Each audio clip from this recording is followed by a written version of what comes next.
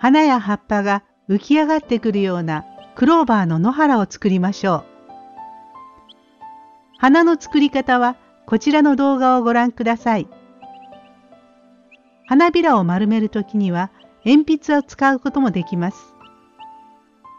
根元からしっかりと巻きつけ、最後に根元のところを少し伸ばしておきます。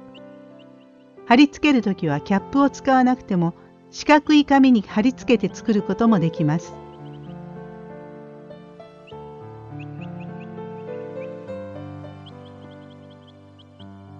葉っぱの型紙を説明欄からダウンロードして A4 にプリントアウトしてください。周りの線で切り取ったら八つ切り画用紙の半分のサイズの色画用紙と重ねて空いているところをホッチキスで留めます。刃を切る前に花用の紙バネを作ります。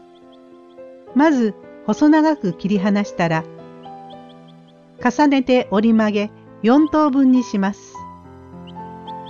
2枚1組にして端に糊をつけたら直角に貼り合わせます。そこから互い違いに折っていくと紙バネができます。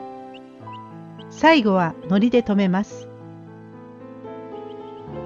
できた紙バネを花の裏側に貼ります。紙バネをつけることで貼った時に立体感が出ます。糊が乾く間に葉っぱを作りましょう。葉っぱはまず線のところで2枚ずつに切り離します。葉っぱ1枚につき1箇所ホッチキスで留めておきます。留め忘れがある場合はこの時留めておいてください。次に真ん中の線で折って2枚に切り分けます。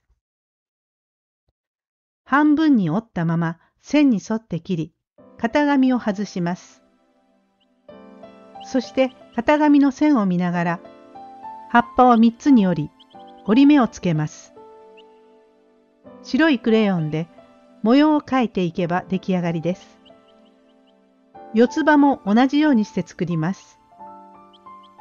曲がり角が切りにくい場合は裏返して切るといいです。あとは三つ葉と同じように型紙を外し折り曲げて白いクレヨンで模様を描けば出来上がりです。1枚の型紙から葉っぱが6枚できます。葉っぱや花をたくさん作って茶色い画用紙の上に貼っておきましょう。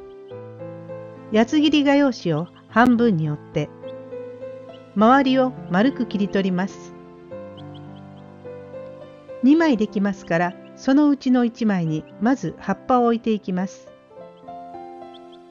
位置が決まったら糊で貼っていきます。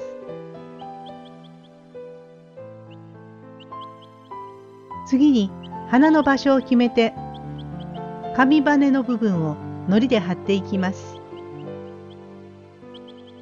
持ち上げてみてみましょう。葉や花が浮き上がっているのがわかります。これを何枚か作って壁面に飾ります。一つ一つ貼るより手早く飾ることができます。お花紙の蝶々と組み合わせて貼ってみました。